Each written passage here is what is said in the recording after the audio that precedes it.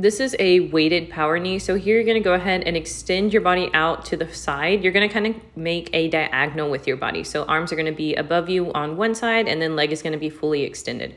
From there, you're gonna keep control of the weight. You're gonna bring opposite elbow pretty much to opposite knee so that you're twisting at your core and then you're also not banging your knee with the weight.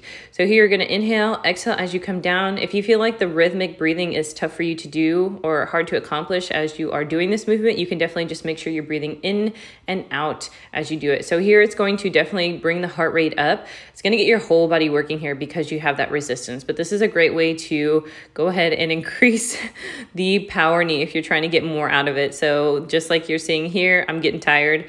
Um, if you need to, you can definitely switch the weight to an up and down position if that feels more comfortable to you. Because you lifting this weight up above you, you're definitely going to be working your shoulders. But again, this is a weighted power knee and this is how you can definitely just level up a normal power knee money.